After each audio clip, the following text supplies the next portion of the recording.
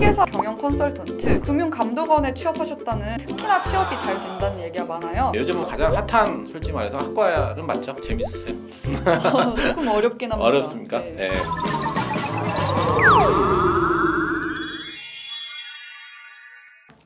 안녕하세요. 교육 전문 채널 100%다입니다. 오늘은 우리나라 고등학교 학생들이 가장 가고 싶어하는 연세대 언더우드 경제학과에 대해서 토크를 좀 진행해 보도록 하겠습니다. 안녕하세요. 안녕하세요. 네, 좀 소개 부탁드리겠습니다. 연세대학교 언더우드 경제학과에 재학 중인 19학번 정은아라고 합니다. 그리고 아. 고등학교는 인천국제고등학교를 나왔습니다. 아, 인천국제고등학교 졸업하셨어요? 네. 아, 그럼 인천국제고를 졸업하셨으면 공부 대단히 많이 열심히 하셨을 것 같은데 어떠셨나요? 네, 그래도 인천 쪽에서 네. 문과계통 특목고 중에서는 인천국제고가 1위라고 할 수 있을 것 같습니다. 아, 인천국제고 최고죠. 인천에서는 다 알아주는 학교죠. 그러면 이제 연세대 언더우드 이제 경제학과에 대해서 이제 그 좀 알아보겠는데요. 좀 우리가 이제 연세대 언더우드 학부 하면 좀 헷갈리는 것들이 있더라고요. 그래서 이제 좀 언더우드 뭐 계열도 있고 뭐 HASS 계열도 있는데 뭐 그 부분에 대해서 좀 소개 부탁드리겠습니다. 일단 연세대 안에는 네. 국제대라는 단과대가 크게 있어요. 이는 상경대나 경영대, 이과대 같은 단과대예요. 그 안에는 세 가지 학부가 있는데 그게 바로 UD, HASS 그리고 ISED입니다. 하스는 인문 계통이고 ISD는 이과 계통이에요. 근데 UD 안에는 이과랑 문과 계통이 같이 들어 있습니다. 그래서 UD 안에는 다섯 가지 전공이 있는데 그중 네 개, 즉 국제학, 경제학, 비교 문학과 문화, 정치 외교학 이렇게 네 가지는 문과 전공이고요. 네. 그다음 마지막 하나인 LSBT 생명과학공학은 이과 계열입니다. 아, UD 안에도 그렇게 이제 생명과학 계열이 또 안에 있네요. 네, 그쪽에서도.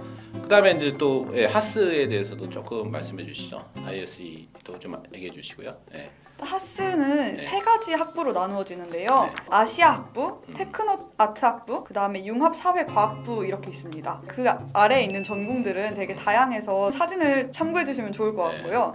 그다음 ISED는 융합 과학 공학부로 이 안에는 세 가지 전공이 있습니다. 그 우리나라에서 이제 소위 말해서 영어를 좀 잘한다, 이거를 잘한다는 학생들은 연세대 언더우드 이런 그죠 학부를 다 좀 이렇게 지망하려고 할 것 같은데 실제로 외국어를 이렇게 잘해야만 갈 수 있는 학교 맞죠?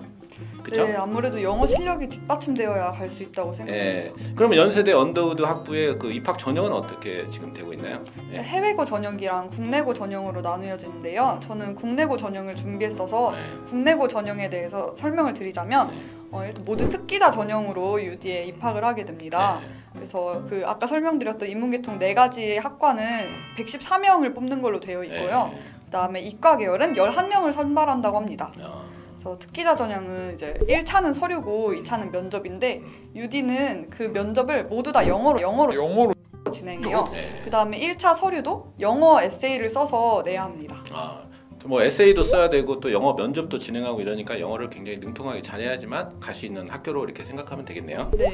그렇죠? 네. 그러면 이제 그 뭐 이과 계열도 보니까 11명밖에 안 뽑으니까 그 경쟁률도 되게 치열할 것 같다는 생각도 좀 드는데요. 그죠? 네, 맞습니다. 자, 그러면 이제 연세대 경제학과를 지망할 학생들을 위해서 학년별 커리큘럼이나 이런 것들에 대해서 좀 소개 좀 해 주시죠. 네. 네, 저희는 그냥 경제학과라고 부르지는 않고 네. UD Economics 그러니까 네. 이콘이라고 줄여서 부르거든요. 음, 유디 이콘. 네. 먼저 1학년 때는 국제대에는 공통으로 CC라는 수업을 들어야 돼요. 이건 Common Curriculum의 약자로 국제대의 기초 저- 기초 교양이라고 보시면 될 것 같아요. 이 CC 과정을 전체 이수해야만 국제대 학생은 졸업을 할 수가 있어요. 주로 어떤 과목들을 좀 듣게 되나요? 먼저 대표적으로 World 시리즈라는 게 있어요. 어, World 시리즈 세개중 두 가지를 이수해야 졸업을 할 수가 있는데 그 World 시리즈에는 World History, World Philosophy, 그다음 World Literature 이렇게 세 개가 있어요. 네. 저는 이 중에서 역사랑 철학을 선택해서 들었습니다. 아, 그렇구나. 네. 어쨌든 뭐 인문학적인 어떤 그런 교양 이런 것들이 좀 이렇게 축적돼야 된다고 해서 이렇게 이런 과목들을 편성한 거 아닌가 이런 생각도 좀 드는데요. 네, 맞나요? 맞습니다. 네, 그렇죠. 그러면 이제 학년에 올라가면서 또 어떻게 이제 커리큘럼이 좀 변화되고 있나요? 일단 2학년 때부터는 네. 전공 과목을 자유롭게 선택해서 듣는데 보통 미시 경제 원론, 거시 경제 원론, 경제 수학, 미시 경제학, 거시 경제학 이런 흔히 들어보셨을 네. 경제학과 전공들을 다 네. 선택해서 듣는데 네. 국제대는 이제 모든 수업이 영어로 진행되기 때문에 네. 이 전공 수업들도 다 영어로 진행이 됩니다. 아, 경제학도 어려운데 이제 그런 수업들을 다 영어로 100% 영어로 다 진행한다. 네. 재밌으세요? 조금 어렵긴 합니다. 어렵습니까? 네. 예, 경제 수학 이런 것도 배우고 이러려면은 뭐 수학에 대해서 굉장히 잘 하는 부분이 좋, 좋겠죠. 네, 아무래도 수학에 대한 감각이 조금 있어야 수월한 네. 것 같아요. 아 그러시구나. 연세대는 또 전 세계 200여 개국의 이상의 그 나라들에 이제 교환학생으로 많이 좀 가고 있는 걸로 알고 있는데 뭐 요즘은 코로나 때문에 좀 그런 상황이 좀 힘들 것 같다는 생각도 약간 드는데 교환학생 제도는 어떻게 되고 있나요? 예. 자, 교환학생을 가려면 네. 1차와 2차 서류 전형을 통과해야 되는데요. 이 중에서 많은 학생들이 1차 서류 전형에 가장 집중을 해요. 이거는 학점이랑 토플 성적이랑 그런 것들이 들어가는 부분인데 이 1차 서류를 통해서 제가 갈 수 있는 교환 대학이 이렇게 정해집니다. 보통 이제 교환학생을 준비하는 친구들이 토플 많이 준비한다고 하잖아요. 네. 실제로 이 토플 성적이랑 학점으로 갈 수 있는 대학이 성적별로 전, 정해지기 때문에 굉장히 신경을 많이 쓰는 편입니다. 아 그렇습니 까? 네. 그럼 본인은 이제 국제 고등학교에서 이제 졸업할 때쯤 돼서 나는 연세대학교 언더우드 뭐 학부 이제 꼭 가야겠다 뭐 이런 생각을 좀 해보셨나요? 어떤 연세대 언더우드 학부 경제학과를 지원한 동기가 뭔가요? 예. 일단 저는 어렸을 때부터 네. 영어 공부를 계속 해왔기 때문에 이제 진로를 항상 국제고나 국제학부 쪽으로 좀 생각을 했었어요. 네. 초등학교 고학년 때 국제학교를 다닌 경험도 있었고 그래서 제 특기를 가장 잘 살릴 수 있는 방향으로 진로를 정하다가 보니까 언더우드 학부가 저에게 제일 알맞는 학과일 것 같아서 음. 일단 먼저 관심이 갔고요. 아, 나. 나중에는 이제 고등학교 때 제가 계속 경영이랑 경제 분야 쪽 진로를 희망해 왔는데 마침 언더우드 학부 안에도 경제학과가 있다는 얘기를 듣고서 네. 언더우드 학과, 학과는 진짜 저한테 딱 맞는 학과라는 생각이 아, 들었습니다. 그러시구나. 외국어와 뭐 경제만 그죠? 잘 이해하고 있으면은 뭐 세상에 두려울 게 없을 것 같다는 생각도 약간 드는데 예, 요즘은 뭐 경제학과가 가장 핫한 솔직히 말해서 학과는 맞죠. 예. 그러면 연세대 이제 언더우드 학부 다니면서 뭐 또 다른 활동도 좀 뭐 해봤을 것 같은데 동아리나 뭐 어떤 대외적인 활동이 좀 있으셨나요?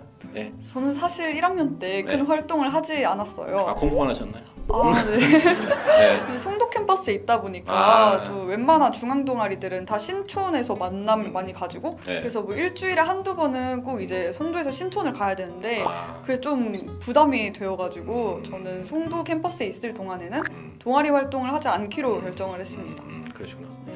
아무래도 송도는 좀 약간 놀 데가 그렇게 많지는 않더라고요. 그래서 네, 아무래도 정말 예, 연세대학교 앞에 이제 신촌이 좀 놀 데가 많으니까 거기서 좀 이렇게 모이기가 좋은데 요즘 코로나 때문에 아마 좀 그런 것들이 힘들 것 같다는 생각이 약간 드네요. 네. 그러면 연세대학교 이제 경제학과를 졸업하면 선배들의 어떤 케이스도 있을 것이고 뭐 보통 애국계 회사 아니면 뭐 대기업, 금융기업 회사 뭐 이런 쪽으로 보통 취업을 할 것 같은데 어떤 분야로 이렇게 취업을 보통 하나요, 선배들은?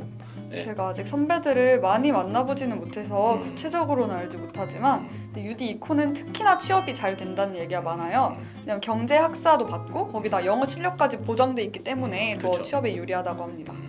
본인은 뭐 어떤 분야로 좀 이렇게 나가서 일을 하고 싶으신가요? 네, 저는 아직까지 이제 꿈을 찾는 단계에 있는데 네. 이제 많은 선배들 얘기를 들어보면 네. 회계사가 되셨다는 분도 있고 음. 뭐 경영 컨설턴트 아니면 금융 공기업 중에 하나인 음. 금융 감독원에 취업하셨다는 10학번 선배도 아, 계셨거든요. 그렇죠.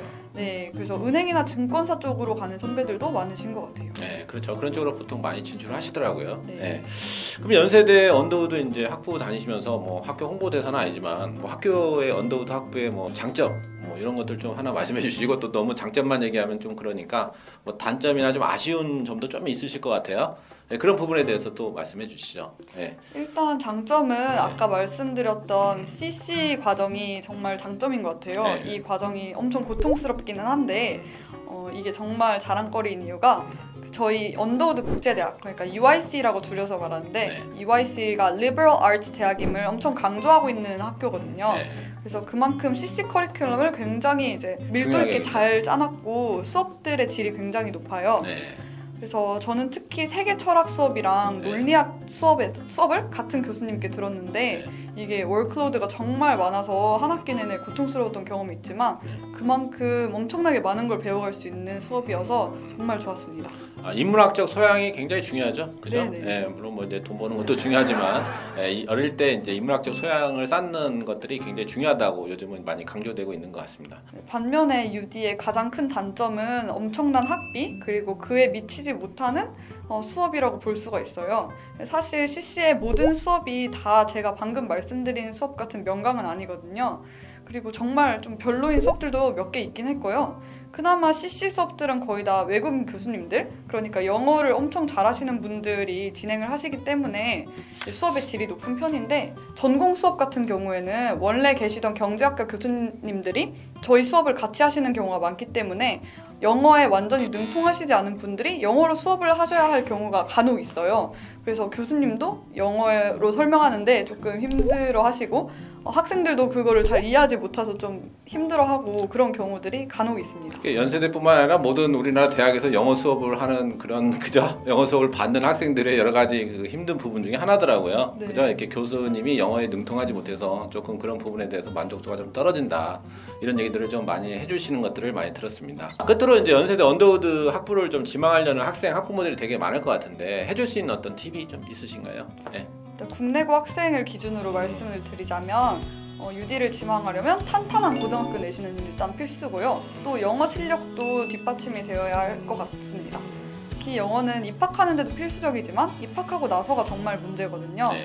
그래서 UD를 희망한다면 영어라는 언어에 능통해지는 것에 중점을 맞추시길 바라겠습니다. 아 그러시구나. 어쨌든 뭐 학교에 대해서 되게 만족도가 되게 높으신 것 같고, 예, 재밌게 저 학창 시절을 보내고 있는 것 같습니다. 아 지금까지 우리나라 대학 중에서 가장 핫한 그 학부인 그 연세대 언더우드 학부의 경제학과에 대해서 지금 소개를 해드렸습니다. 어때요? 좀 도움이 되셨나요?